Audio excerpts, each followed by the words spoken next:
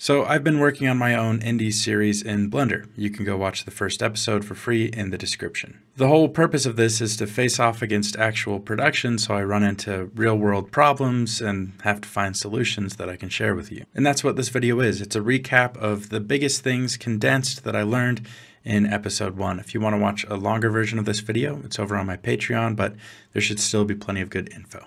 Chapter 1 Previs Previs for me is a pretty lightweight process. It basically boils down to two things. One, I'm blocking out the scene to get a general feel of the space, and two, I'm animating my shots and camera so I know how the first person character moves through the space. The blockout phase is also a time to reevaluate the script. A nice thing about solo indie production is I can move back and forth between production steps pretty easily. I can't really talk about blocking out my shots without getting into the actual animation technique I use. In this case, I'm using a first person camera technique. This is meant to feel like a gameplay video, as if this is an actual first person game. To get that effect, I turn on record in the timeline, play the timeline, then with the camera selected and in the camera view, I hit shift tilde, that's just under the escape key, to enter fly mode and then press tab to enable collision and gravity. This way I could just walk around my space like it's an actual video game. After the action, I'll bake the spaces in between so I have a keyframe every frame and I'll smooth things out a bit.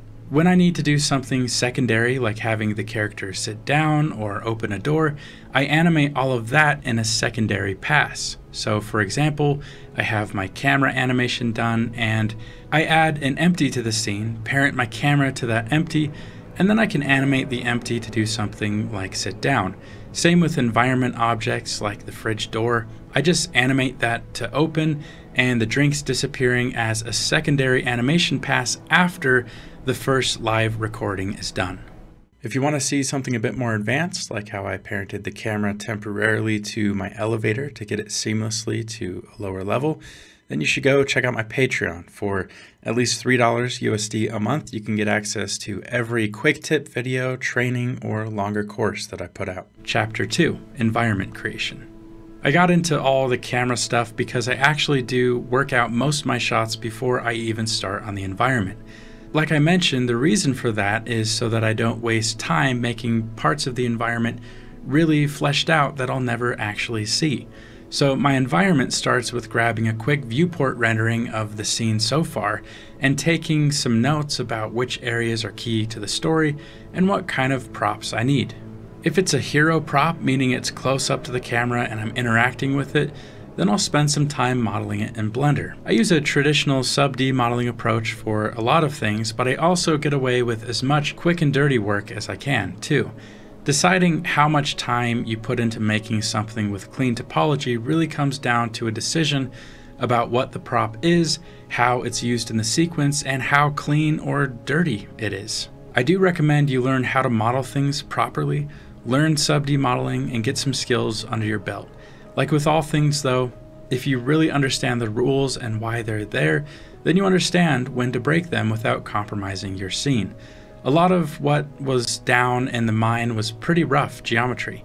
I did this because I knew much of what I saw down there would be grainy drone footage with everything covered in dirt. In fact, I only rendered this section out at 50% the resolution of the final of the rest of the episode, just to save time. My top priority is always to finish a shot. The reality is, I don't finish if I lean on the crutch of perfection. To me, it's an excuse to get scared and stop working.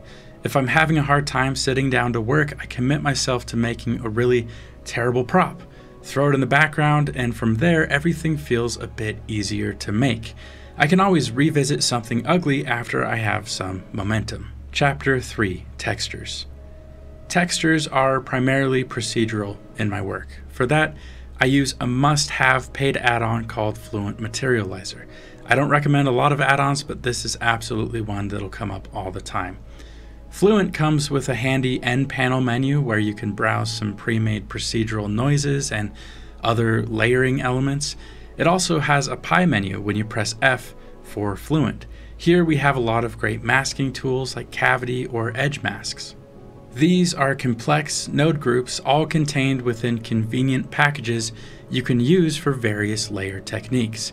For example, let's say I have a base texture that's made up of primarily photo textures. From here, I can interrupt my base color with a mixed color node. I can plug the same image from A to B, but for B, I can interrupt that with a hue saturation value node.